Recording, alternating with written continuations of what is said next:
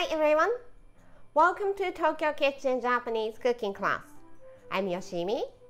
Today, I'm gonna show you how to make tori no shisomaki tempura.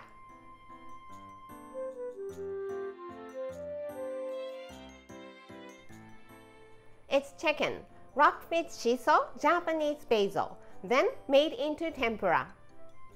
Simple chicken tempura is delicious already but shiso, Japanese basil, adds so much freshness to it, and it makes it even more delicious. At the end of the video, I will show you how I build a menu with this tori no shisomaki tempura, so stay with me till the end. Okay, let's get started. These are what you need to make 4 servings. 10 to 12 chicken tenderloin, or you can use chicken breast instead. Shiso Japanese basil. It looks like this.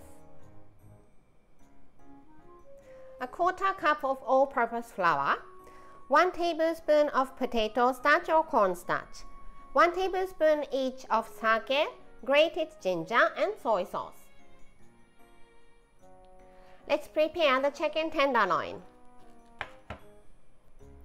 I want to remove this tendon because it's tough and chewy. So prepare fork and paper towel.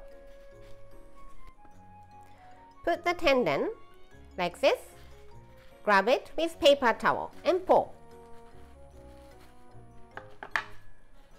And you can easily remove the tendon like this.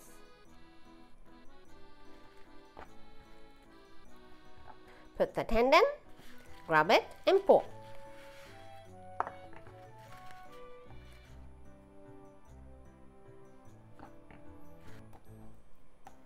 Let's cut the chicken into half. Try to make them even.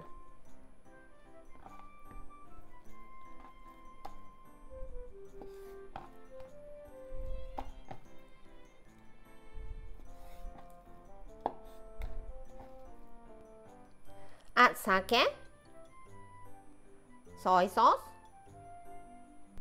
and grated ginger. Rub it well.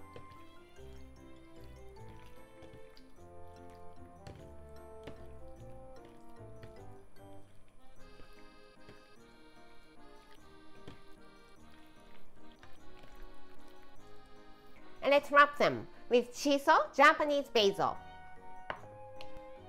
Use a small one as is.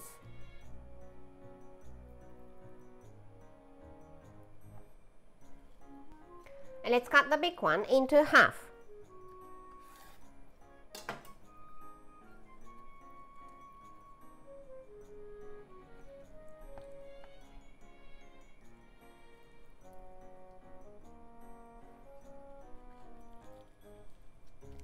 Okay, alright. Let's make the tempura batter.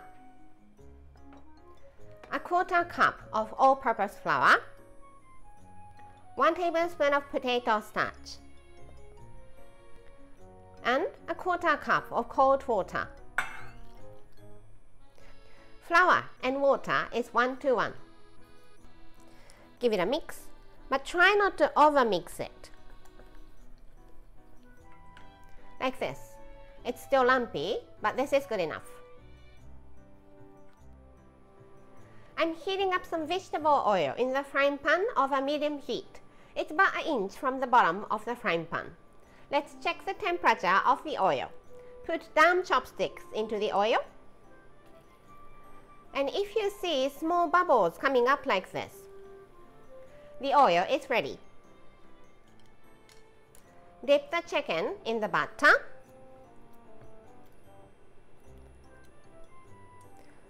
then into the oil.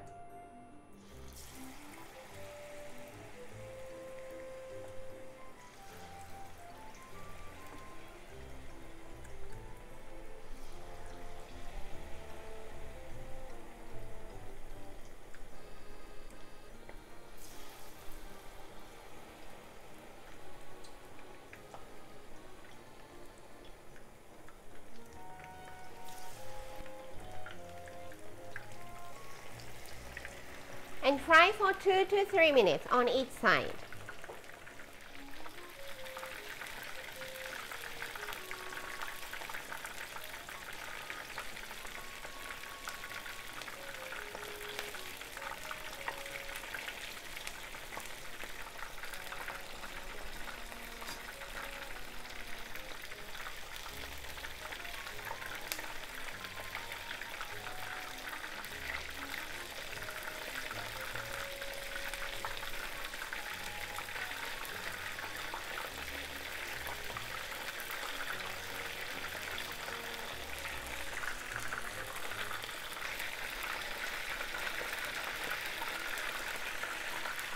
It looks good. So let's take them out.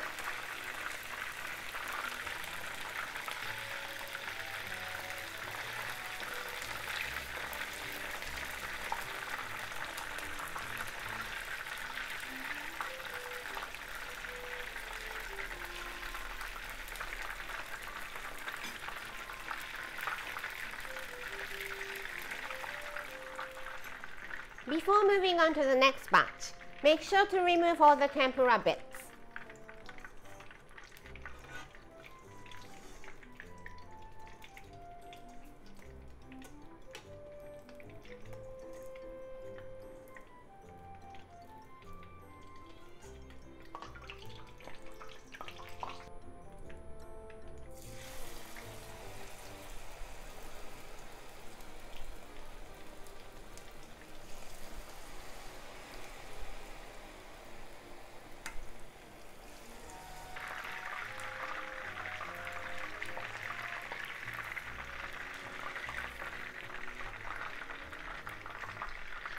Okay, all fried and it's done. Time for the tasting. You can have it with tempura dipping sauce or simply with salt.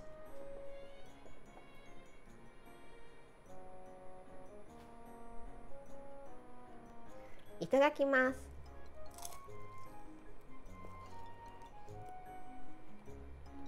Mmm!